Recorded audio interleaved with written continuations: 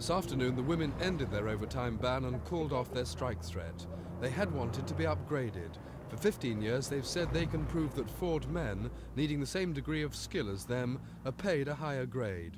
But after hearing from their male convener that the company were threatening to lay off 20,000 at Dagenham, they voted reluctantly to end their dispute. Now, have they got their grade, though, raised from B to C, which is what they originally wanted, a higher grade? No, they haven't got their uh, graded raised at all, not this point in time. And what were their reactions when you told them that in the canteen a few minutes ago? Well, the reaction uh, was obviously very disappointing. Uh, they are angry. They feel quite, and I believe and convinced, they are discriminated against within the wages structure. Ford denied discrimination. After their mass meeting, the women who turn out upholstery for every Sierra and Fiesta made in Britain went back to work at their sewing machines, leaving the two male union officials who'd chaired their meeting to talk to us. Why hadn't the women come forward to give their reaction?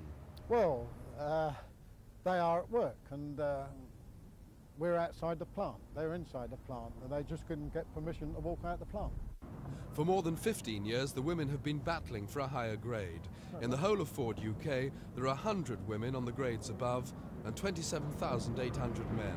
Have the women been let down by their male shop stewards? Uh, we haven't got the women grade C, but there are 90% of Ford workers who've got grading grievances down the years, and they've never managed to get their upgrading.